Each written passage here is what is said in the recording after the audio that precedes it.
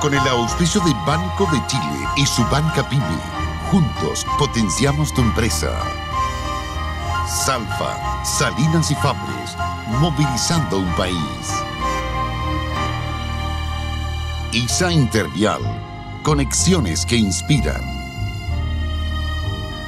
Y Mobile POS, la nueva manera mobile de vender. Presentamos Rompe Paradigmas.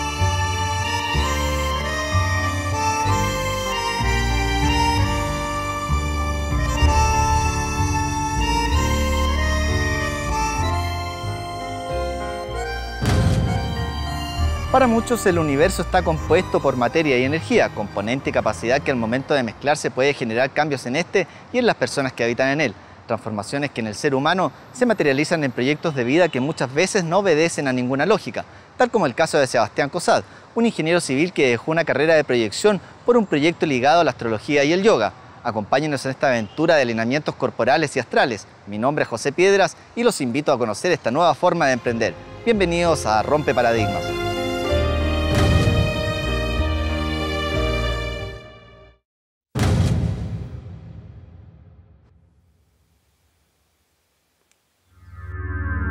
Hace seis años, cuando tenía 33, la vida tuvo la deferencia de enseñarme que solo se puede planificar hasta un cierto punto.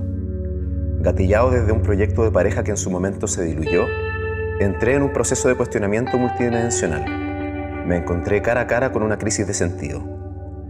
El yoga apareció en mi vida como una terapia de sanación y como un método para encontrar paz interior y así volver a mi centro. Cuando el terreno interno estuvo lo suficientemente preparado, tuve un segundo encuentro. Se me cruzó en el camino la astrología. Soy Sebastián Cosat, tengo 39 años, ingeniero civil de profesión, pero astrólogo y yogi de vocación.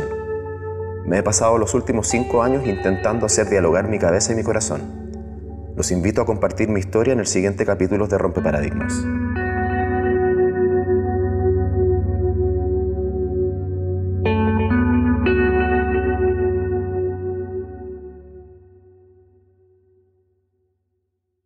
Me di cuenta que la ingeniería o mi carrera profesional en LAN no era 100% lo mío en el momento que me di cuenta que no quería tener el cargo de mi jefe, ni de algún par de mi jefe. Y en ese minuto lo que ocurrió fue que dije, bueno, si estoy en esta tremenda empresa, eh, haciendo una buena carrera profesional y realmente no aspiro a tener el cargo de mi jefe o un cargo mejor que el que tengo hoy día, eh, ¿cuál es el sentido o el propósito de seguir caminando este mismo camino?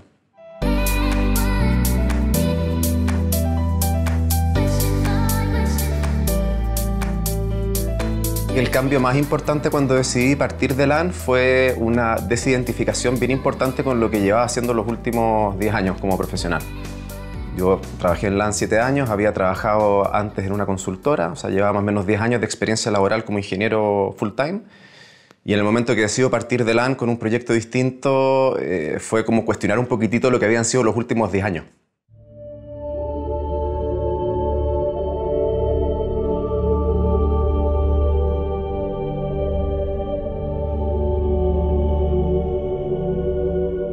Verdad es que lo del yoga, más que que yo lo haya buscado, fue un encuentro. Eh, y con estas cosas suele pasar mucho eso, no es que yo lo haya buscado, de repente se me cruzó en el camino nomás.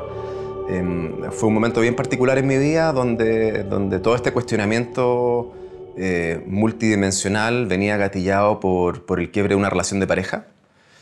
Y yo tenía un muy buen amigo, compañero de la universidad, que al poco salir de la U montó un centro de yoga acá, muy cerca de mi casa. Y, fue bien divertido porque este personaje históricamente me invitó siempre a ir a probar una clase en su centro. Me decía, ¿cuándo vaya a venir a probar una clase?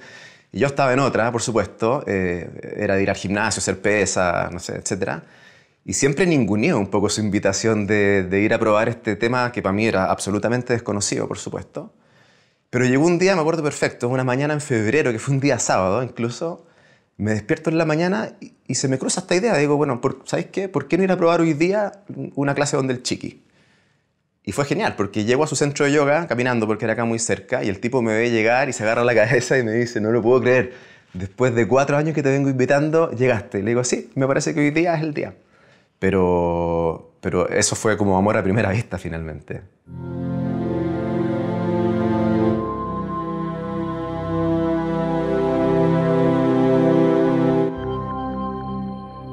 Claramente eh, la filosofía del yoga o todo el mundo que circula alrededor del concepto del yoga es bastante distinto a lo que yo venía experimentando en mi contexto más profesional.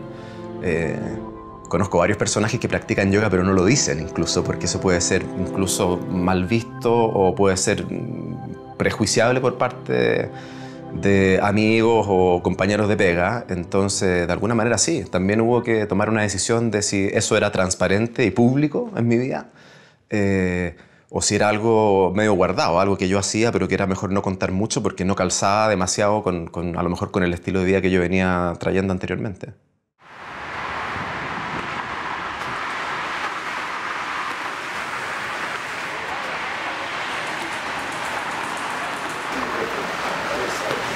Cuando Sebastián nos dijo que se iba, y, y si es una aventura distinta a la que estábamos acostumbrados, primero nos sorprendió, porque estábamos en un mundo donde, donde lo corporativo era lo nuestro, donde había un tipo de camino que seguir. Y, te diría que más que nada, fíjate que fue como, qué valiente Sebastián de seguir sus sueños. Como yo creo que cada uno se hizo un cuestionamiento interior de si estábamos siguiendo nuestros sueños o no, y quizá, por lo menos en mi caso en particular, fue el momento de preguntarme, ¿quiero yo esta vida? Mi estilo de vida antes de conocer el yoga, eh, ciertamente más ejecutivo que el que tengo hoy día. Eh, nunca me consideré un personaje 100% metido en el sistema. Eh, en un rol bastante convencional, era probablemente de los menos convencionales, pero, pero mucho más tradicional de lo que soy hoy en el fondo y el estilo de vida que llevo hoy día. yo te diría que la gran diferencia, en mi caso por lo menos, es que siento que que era un relato no muy propio. Eh, me iba bien en la pega, eh, mi trabajo era valorado, era bien pagado, eh, tenía bastantes personas a cargo incluso, entonces para alguien que miraba este cuento desde afuera, podrían haber pensado perfectamente que yo tenía la vida perfecta. Yo vengo de una familia no muy tradicional, pero, pero mis dos hermanos son profesionales, universitarios, mi hermano es ingeniero, tiene súper buena pega. Yo siempre tuve la sensación de que podría haber sido un bombazo en mi familia eso. Eh, me sentí un poquitito, ¿sabéis qué? Como si estuviese mm, como si estuviese yendo a vivir mi sueño, pero un poco el de ellos también, a lo mejor.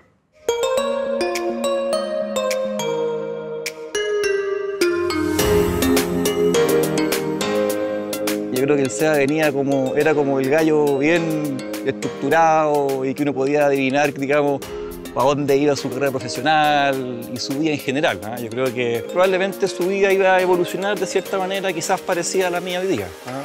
Con familia, con hijos, con pega, un poco, un poco donde estamos muchos metidos en el sistema. Eh, pero claro, hoy día, hoy día está en una cuestión diametralmente distinta. Y yo creo que nos tenemos sana envidia mutua. Yo creo que la rato también envidia tener el, el clan familiar y el desorden que implica tener niños en la casa así como yo a ratos envío también estar solo en, Pichilemu, surfeando y meditando. Yo acepté su decisión, o sea, yo siempre he confiado mucho en Sebastián. Eh, creo que siempre toma decisiones bien pensadas. Eh, el único miedo que, tengo, que tuve yo en ese momento, porque yo soy súper aprensiva, es que le pasara algo lejos que no tuviera, o sea, que se enfermara, eh, que tuviera un accidente. Esos fueron mis miedos, de verdad. Pero no mis miedos en su futuro, en lo laboral o cómo se iba eh, en el futuro.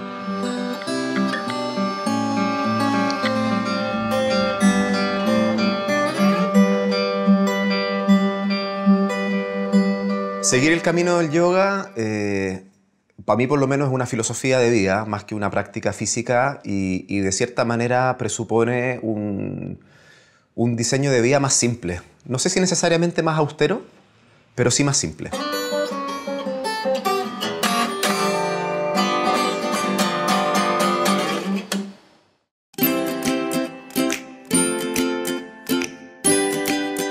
...170 dólares en el bolsillo tenía cuando llegué acá y una mochila cargada de un montón de sueños y de, esperanza.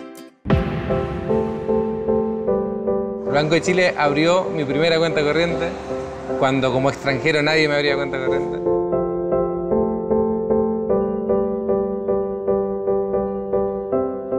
Actitud para emprender y para empezar diferentes eh, negocios y por supuesto que el Banco de Chile. Yo empecé a importar a China no había ido nunca a China, no conocía China, no hablo inglés. Entonces había un montón de variables que estaban en contra, pero ellos confiaron en mí, me apoyó y dijo, ya, vamos con todo, te apoyamos y acá está el resultado.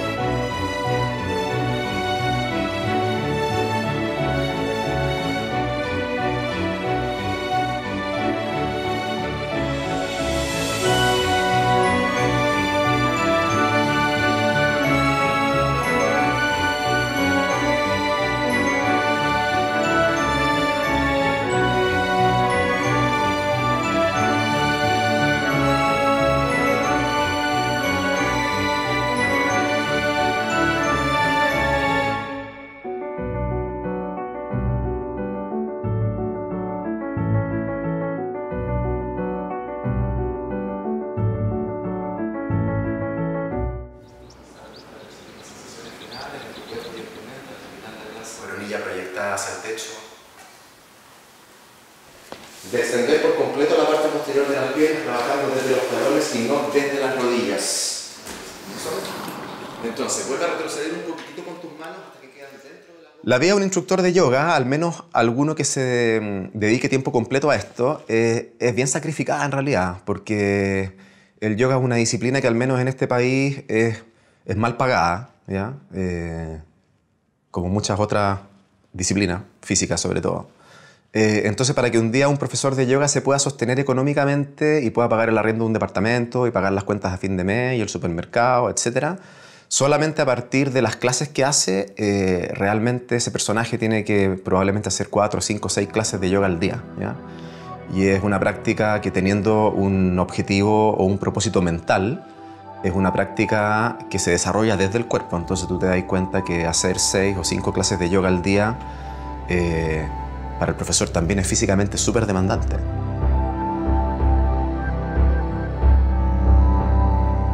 Yo estoy convencido de que sí se puede vivir del yoga. Eh, el tema es que hay que encontrar un diseño donde logres vivir de una manera cómoda y, sin que necesariamente presuponga ese nivel de esfuerzo. Eh, hay profesores de yoga que hacen clases particulares, hay profesores de yoga que eventualmente terminan poniendo un centro de yoga, ¿bien? Y entonces ya es distinto porque pasa a ser no solamente tu rol como profesor, sino que también a lo mejor eres el dueño de una escuela, ¿bien? O puedes poner un centro de retiro, por ejemplo. Entonces, ¿se puede vivir del yoga? La respuesta es sí.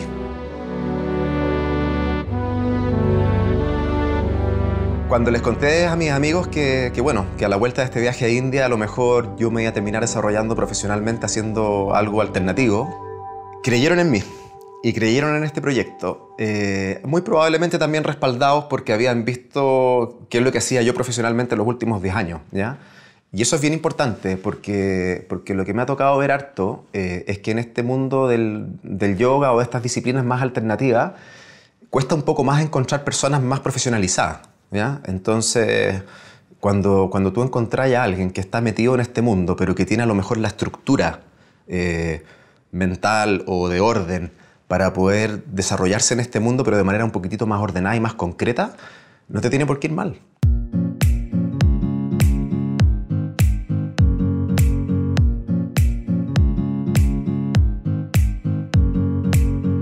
Mira, cuando él eh, nos comunica que quiere crear este modelo de negocio donde no, quiere no le quiere dedicar mucho tiempo, muchas horas, no le quiere dedicar las 45 horas semanales a dedicarse como ingeniero civil, sino que él empieza a diseñar eh, un, un, programa de vida en donde le quería dedicar 20 horas como ingeniero civil, eh, quizás que 10 horas como yoga y tener otras 10 horas más para empezar a buscar o, o, a estudiar cosas nuevas.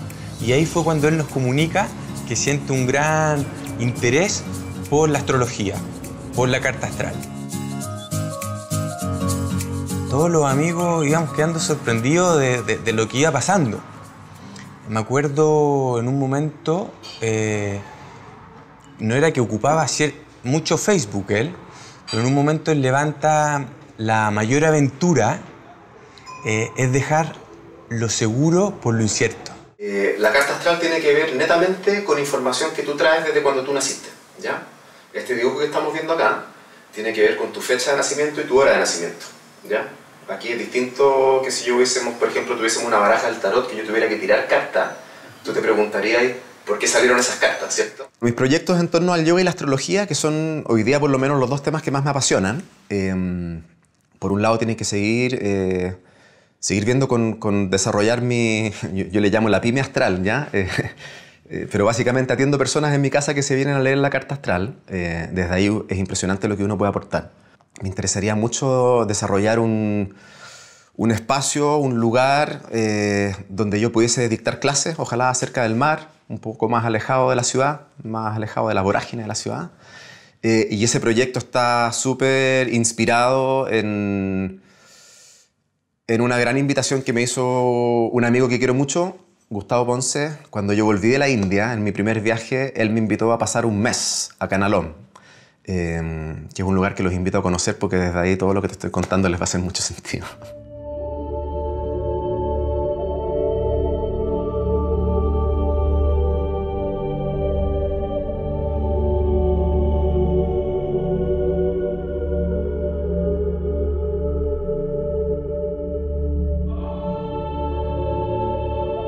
Gustavo Ponce en mi vida eh, es un gran maestro, es un personaje que conocí hace unos 5 o 6 años atrás. Me mostró los primeros pasos en este camino del yoga. Me mostró además este maravilloso lugar al cual vengo con frecuencia, por lo cual estoy muy agradecido. Y fue un gran impulsor en que yo tomara también la decisión de ir a formarme como instructor de yoga a la India.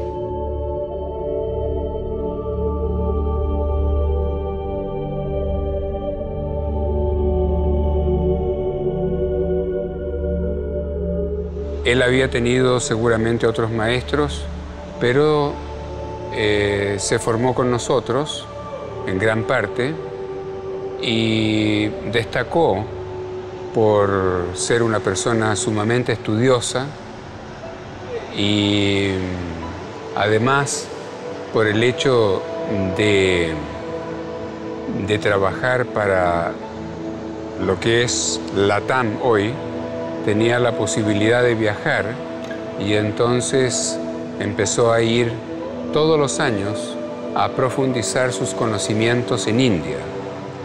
Y eso naturalmente eh, lo puso, creo yo, entre los mejores profesores de este país. El yoga para él es una especie de hobby, eh, es algo que lo hace por gusto, por convicción, por vocación.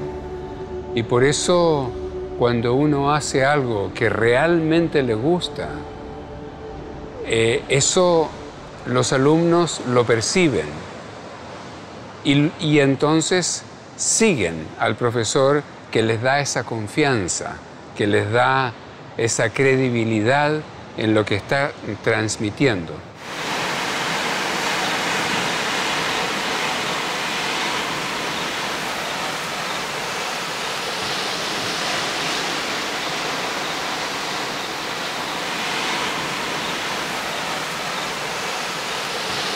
Pienso que lugares como Canalón son definitivamente únicos en el mundo. Yo en mi pasado más ejecutivo tuve la posibilidad de viajar por el mundo bastante y la verdad es que cuesta encontrar un lugar como este, por mucho que te digas una vuelta por India o que vayas al sudeste asiático, eventualmente lográis encontrar lugares de este estilo, pero típicamente no cerca del mar.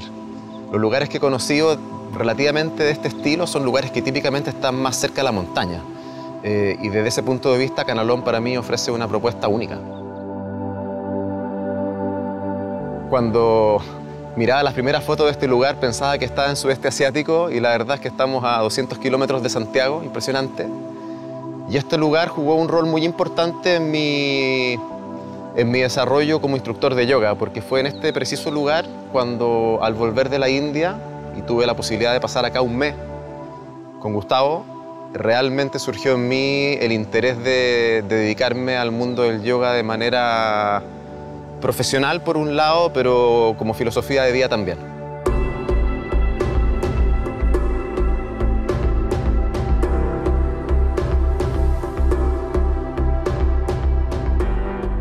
El proyecto de vida que comenzó a surgir desde acá eh, fue tratar de armar algo similar. Eh, no por tratar de hacer una copia de un canalón, porque es imposible, pero sí buscar esta misma combinación de yoga, naturaleza, conexión, una vida más tranquila. Y mis meses de estancia en Canalón me, me ayudaron a entender que realmente ese, ese, era el plan que yo valoraba como, como estilo de vida. Y, y, de acá surgió una idea que, que hoy día ya poco a poco está empezando a tomar vuelo.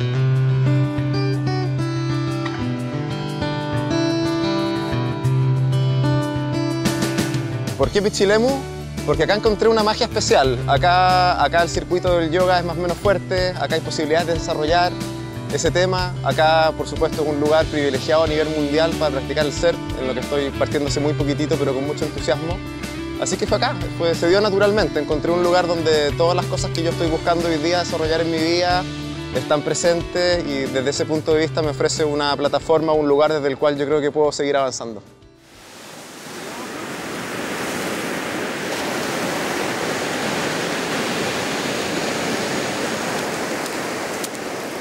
Siento que más que haber roto una, una burbuja social, eh, lo que sí desafié fue un status quo social. Eh, para alguien que tiene la formación académica que tengo yo, profesional, el camino del éxito está más o menos diseñado socialmente. Y, yo entendí que no era mi camino o no era como yo lo quería transitar y, y bueno, había que tener cierta valentía también para, para desafiar ciertos paradigmas y, y ir trazando tu propio camino.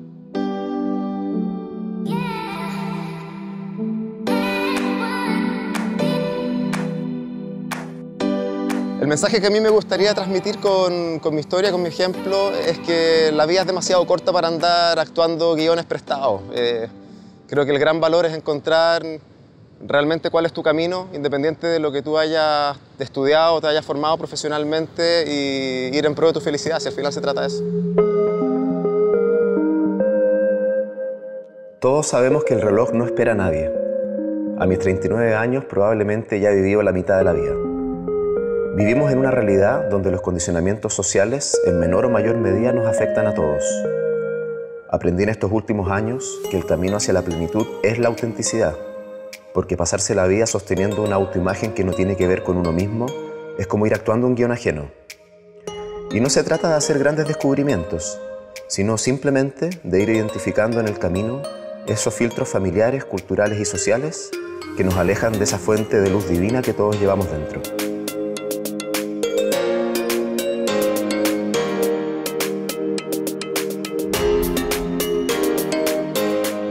Sebastián seguirá el camino que él se proponga en una ciudad muy distinta y distante de las capitales cosmopolitas que recorrió durante años gracias a su antiguo trabajo. Su realidad se concretará en la medida que sus energías y ganas se lo permitan, en un mundo más informal, pero no por eso alejado del emprendimiento. Es el vuelco de vida lo que mueve a muchos a dejar su zona de confort, temática que seguiremos abordando en este espacio dedicado a los emprendedores. Usted es en la compañía de CNN Chile y nosotros nos volvemos a encontrar en un próximo capítulo de Rompe Paradigmas. ¡Chao!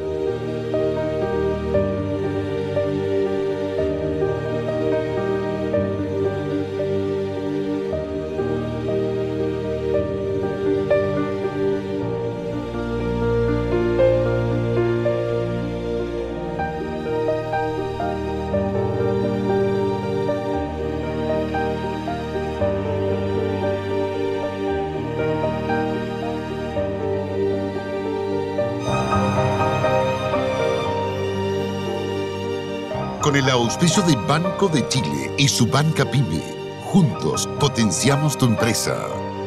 Salfa, Salinas y Fables, movilizando un país. ISA Intervial, conexiones que inspiran. Y Mobile POS, la nueva manera mobile de vender. Hemos presentado Rompe Paradigmas